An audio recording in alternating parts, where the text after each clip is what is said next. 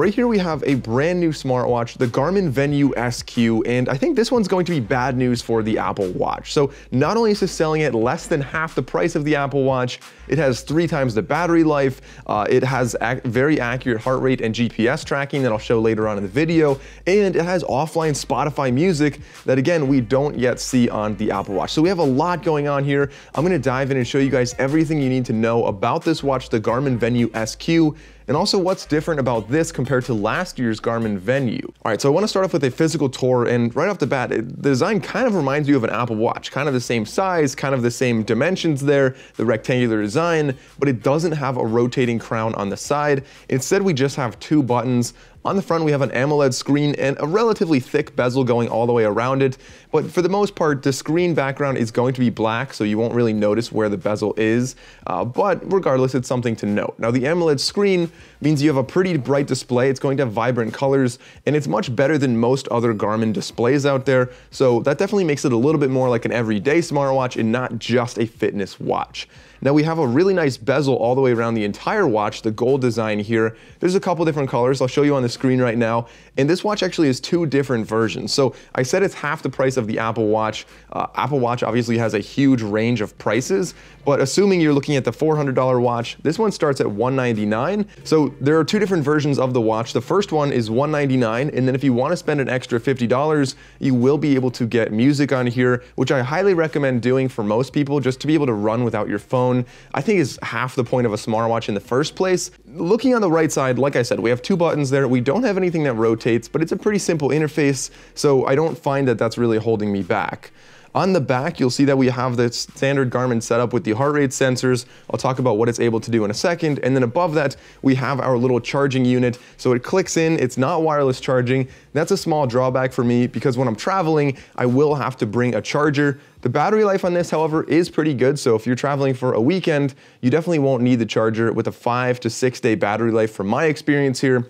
You know, it definitely has a decent battery. The straps on here are easily replaceable, but I think these are really comfortable and I like the design of these straps. Uh, I can wear them if my wrist is wet, if I'm swimming. It never really gets too uncomfortable from my experience. Now you might notice that this watch does not have any microphone or speaker, which means you won't have a voice assistant, you won't be able to field phone calls on here, but you will be getting notifications by the haptic motor on there uh, and displayed on the touchscreen as well, so you can reply with quick replies or whatever you're trying to do. So as far as connectivity and transponders go in this watch, we have Wi-Fi to download songs for Spotify uh, and to download different apps for this. We also have Bluetooth to connect to your phone, but also Bluetooth to connect to headphones or earbuds. So if you want to go for a run, and leave your phone at home. You could listen to music just off of your watch. A really nice feature to have. We have NFC on here, so if you're going for a run and you want to stop and buy a Gatorade at the store, you can just walk up and tap your watch on there and purchase, you know, your, your drink or whatever you're trying to buy. And of course, we have GPS and heart rate data on here for accurate workout tracking. So with that being said, I wanna get into some testing right now to show you guys just how accurate the workout tracking actually is. All right, so I have right here one of the workouts I did with the Garmin Venu SQ. And what I really like about Garmin is that I can actually go on their web application and see even more data than I can see on my phone. And so looking at the accuracy of the GPS, first of all, we can zoom in. This was not really an especially long run, but you can see that it was very accurate. There was no drunk wandering almost at all. So just some slight meandering back and forth, but still within the road because I was on the sidewalk. Sometimes I was running on some of the back roads. And for the most part, it was extremely accurate. The only discrepancy I really see is like right around here, it cut that corner a little bit short. And then over here, it had a little bit of confusion there as well. Uh, but it does, it gives you a heat map here. So it shows you, I was doing some sprint intervals on the back half of this run uh, and a more consistent pace in the beginning. So I think that was a really cool thing that it does right there. And then as we scroll down, you can see the other things that it's actually showing you. And looking at the heart rate compared to a known accurate device, I found that this was really accurate on almost every part of the entire run, with the exception of right here it plateaued at 200 for a little bit, uh, which was slightly higher than my actual heart rate. And in the beginning, this little dip was slightly slower. It should have actually come up a little bit more like that. But otherwise, it was very, very similar to the correct heart rate for the entire run. I was very impressed with the accuracy of both the heart rate sensor and the GPS on the Garmin Venu SQ. Now, looking at the app right here, you can see that this is the Garmin Connect app and it shows you a lot of your health analytics. You can actually rearrange it, but there's a ton of data here, very digestible as well. So you can go down and see how many steps you did today, how many calories you, the estimated calories you burned. And if you go into any one of these, so for example, my sleep, it, it shows you a ton of other information. You can see like your pulse OX, your respiration, uh, and just like a lot more information as you want to dive into any one of these metrics. So it's really nice how easy that is. On the top right there, you can also go into your device. And down here, you'll see you have some quick settings here, but the majority of the settings are actually going to be uh, not here. Instead, they're going to be, if you go to uh, applications and more right here, it'll open up the Garmin IQ app. So you can see right here, it should be opening that uh, it'll bring us over to this app here. And this is the app where you can do most of the app adjustments within your watch. So if you want to add widgets, you want to add watch faces, you want to add some other like Spotify or Deezer, for example, across the top you see that's how you're going to be sorting them. Uh, so it's really easy to do. And then if you go down to the bottom right, you can also change some other things. Like I think you're allowed to have 32 apps slash widgets on here. Uh, so, you know, that's a reasonable amount of space considering there really aren't 32 apps I want. Uh, but most of them are really watch faces anyway. Alright guys, let's take a quick look at the interface. And so starting off with the watch face here, you can actually change this in the Garmin IQ app, and I'll show you that in a second. Uh, but as we swipe up and down, it goes through an entire loop. So we're going to end up at this one right here. So remember this one.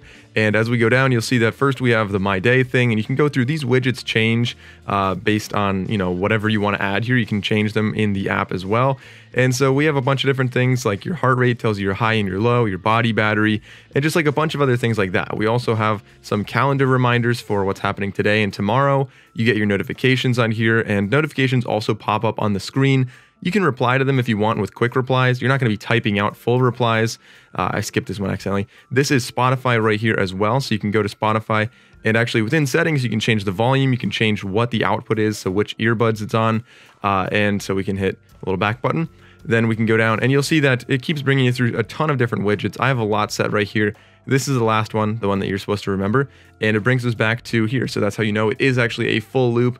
And if we swipe left or right from any of these, nothing actually happens. But if we press and hold the bottom right button, uh, you'll end up with the settings for whatever you're on. So press it once to go back, press that little button to go back or to go home. And then if we press the top button, it brings us into kind of like our apps, but it's weirdly enough including our workouts as well. So you see that's a lot of workouts and then like a My Car one uh, that I added also. And if you swipe down, it shows you even more of them. So more workouts and also like a navigation app that I added as well. So it's interesting that those are mixed together here. I'm not sure why Garmin chose to do that, but if we tap and hold the top button, it gives us our quick menu right here. And we have, this is really what I'm doing the most of. So we have uh, Garmin Pay on the top right if you want to set up a credit card with this.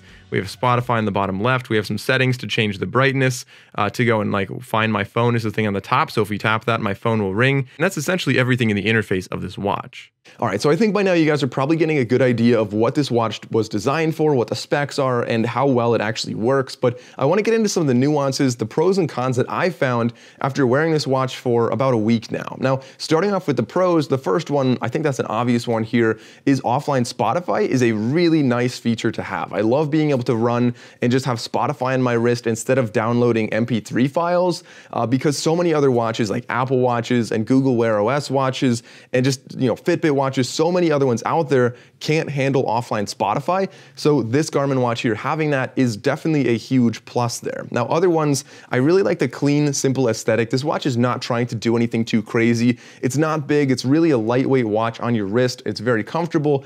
And I think it does a great job of just working. So when you put the watch on, it just works. It tracks your workouts. It does what you want it to. And it's not really that complicated. So I think that's definitely a good factor on this watch because a lot of people have been saying that to me. I've been getting a lot of comments and a lot of friends asking me like, "Hey, Mike, I want to watch. Uh, I just want I want to track workouts. I want to listen to music. I want it to be accurate, and I want notifications. But I don't really care about having like Siri on my watch or Google Assistant. I don't need to answer phone calls on my watch. Like, what should I get? And I mean, this watch kind of satisfies all of those criteria really well. So this is going to be a really easy watch to recommend, but of course there are some drawbacks you should be aware of. So the first one is that Spotify downloads, at least from my experience, take a really long time. So I wouldn't expect to be walking out the door and say, oh wait, let's download a Spotify playlist and in 30 seconds have 100 songs. It's going to take a lot longer than that, uh, depending on your internet speed and depending on you know a bunch of other factors. For me, to download like 150 songs, it took around an hour or, or even longer. So that, that's a pretty long time. But if you, you know, if you set that and you let it go, and then you run later on in the afternoon, you know, obviously it's not going to be a problem. The second thing is that the interface on here is just a little bit less curated. I think some people don't care about that because they're looking for a watch that just simply works. Uh, but I think they could refine it a little better to make it just make a little bit more sense. I think some things are located kind of in a weird place, like I said before, where you have the workouts and the apps are in the same location. Just like it just that kind of stuff just seems a little strange to me. And then of course, like I said, it doesn't have wireless charging. For some people, that's not a big drawback at all. Uh, for me, I travel a lot, so that's kind of something I don't really like to see. And then really the last one is that it does require multiple apps on your phone. So having the Garmin IQ app and the Garmin Connect app, I wish Garmin would just kind of get their software together and just figure things out on that end and just make one like clean, robust app. So overall, guys, that is the Garmin Venu SQ. Who is this watch really for? I think I explained it earlier on in the video. It's really for anybody who is looking to have just a basic everyday smartwatch that they can wear for notifications.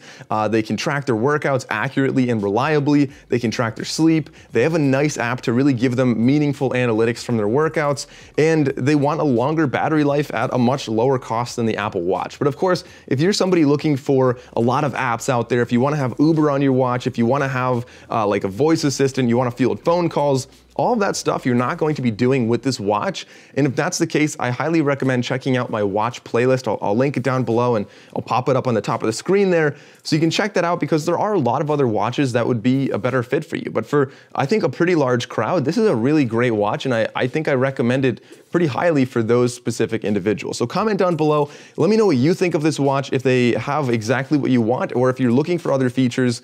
I wanna hear from you guys. And if you enjoyed this video, please consider liking and subscribing. Thanks for watching, guys. I'll see you next time.